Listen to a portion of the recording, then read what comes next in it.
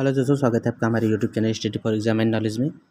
आज हम लोग बात करेंगे कंपरेटिव डिग्री यानी पॉजिटिव डिग्री को कंपरेटिव डिग्री कंपरेटिव डिग्री को सुपरेटिव डिग्री में किस तरह से बदला जाता है इसके क्या क्या नियम है, इस पर हम लोग डिस्कस करने वाले हैं। तो सबसे पहले तीन उदाहरण दिए गए तीन एग्ज़ाम्पल दिए गए दिए गए हैं, जिसको हम लोग देख लेंगे। Kamla is tall boy Kamal is tall boy दूसरा Prem is taller than Kamal और तीसरा उदाहरण बताया गया है, Absar is the tallest boy in the class यहाँ पे पहले उदाहरण में यह बताया गया है कि कमल इज़ टालर बॉय जो कमल है, एक, कमल एक लंबा लड़का है। यहाँ पे कमल के साधारण गुणों की तुलना की गई है। साधारण गुणों के बारे में बताया गया है। कमल इज़ टाल बॉय और दूसरे उदाहरण में बताया गया है कि Prem is taller than Kamal. यहाँ पे प्रेम और कमल दोनों के बीच में तुलना की गई है। लंबाई को लेकर के दोनों के बीच में क्या की गई है? तुलना की गई है।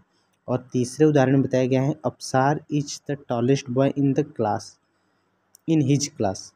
यहाँ पे पूरे क्लास के बच्चों से अपसार की तुलना की गई है। तो पहले उदाहरण में केवल कमल के लंबाई के बारे में बताया गया है। उसके लंबाई के बारे में बताया गया है। यहाँ पे दो लोगों, यानी कमल और प्रेम की लंबाई की तुलना की गई है और तीसरे उदाहरण में अपसार को क्लास के सभी बच्चों में सबसे लंबा बताया गया है। तो पहला जो है पॉजिटिव डिग्री है। पहला क्या है? पॉजिटिव डिग्री है। कमल इज़ टाल बॉय टाल क्या है? पॉजिटिव डिग्री और कंपरेटिव डिग्री जो है यह टालर है।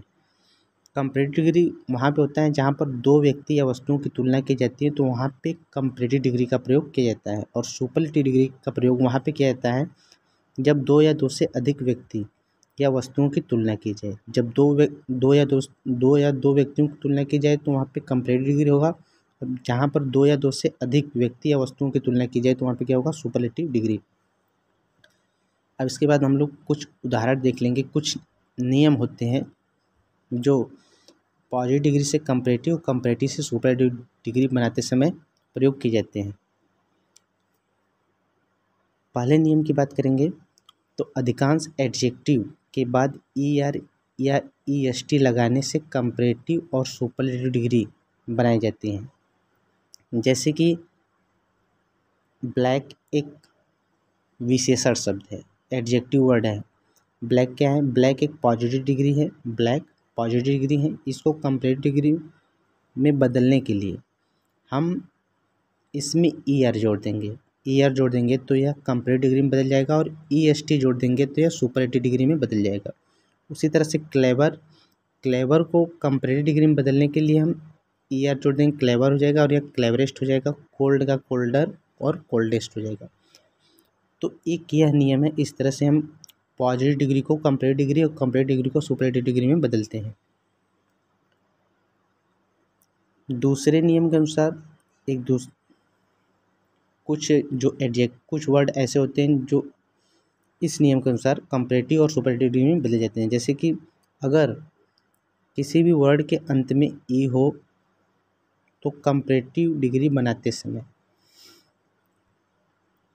कंपरेटिव डिग्री बनाते समय केवल आर जोड़ते हैं। केवल आर जोड़ते हैं और सुपरेटिव डिग्री बनाते समय एस टी जोड़ देते हैं।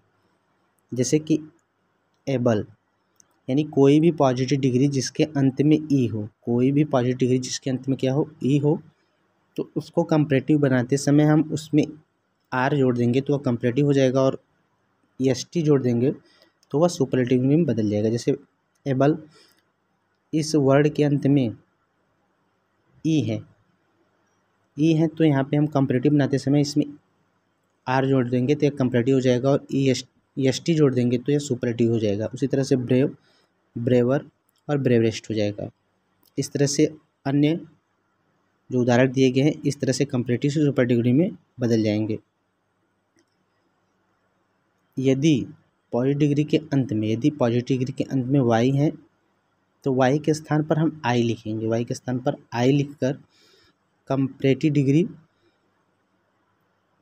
ई आर जोड़ देंगे। यानी वाई को हटाकर हम आई लिखेंगे और उसके बाद ई आर जोड़ देंगे तो वह कंपरेटिव डिग्री में क्या हो जाएगा? बदल जाएगा। उसके बाद उसको सुपर डिग्री बना, बनाने के लिए ई एस टी जोड़ देंगे। आई के बाद ई एस टी जोड़ देंगे तो वह सुपर डिग्री में बदल जाएगा। जैसे कुछ उदाहरण दिया गया है ड्राई वर्ड के अंत में वाई है तो वाई को हटाएँगे और वाई के स्थान पर हम आई लिख देंगे और उसके बाद ई आर जोड़ देंगे तो ये कंपरेटिव डिग्री में बदल जाएगा ड्राइयर हो जाएगा।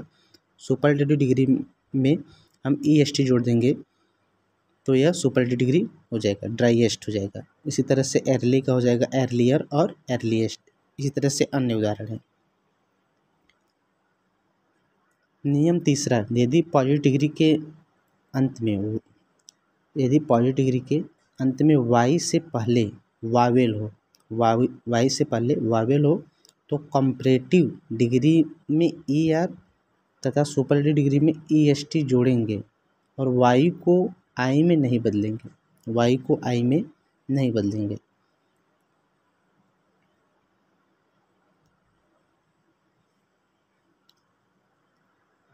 यहाँ पे उदाहरण दिया गया है, जैसे कि गे गे का गेयर हो गया है। तो यहाँ पे वर्ड के अंत में वाई है और वाई से पहले वावेल है।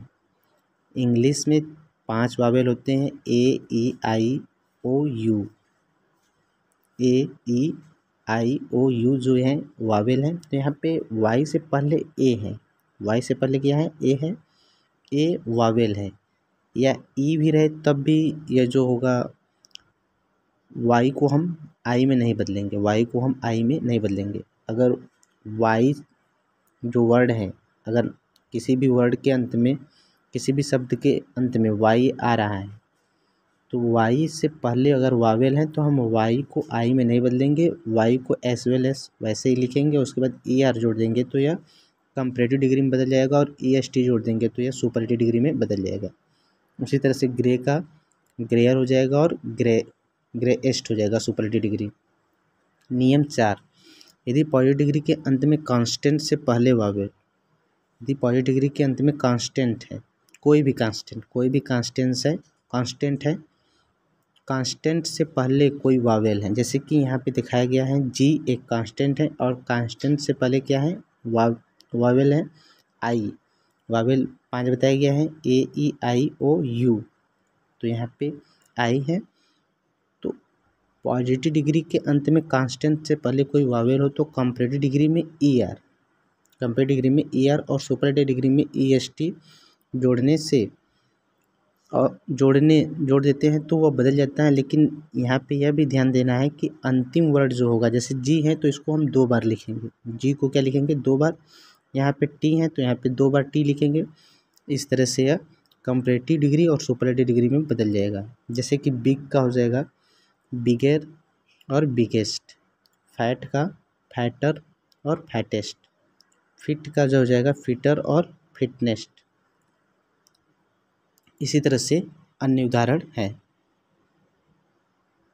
नियम पाँच।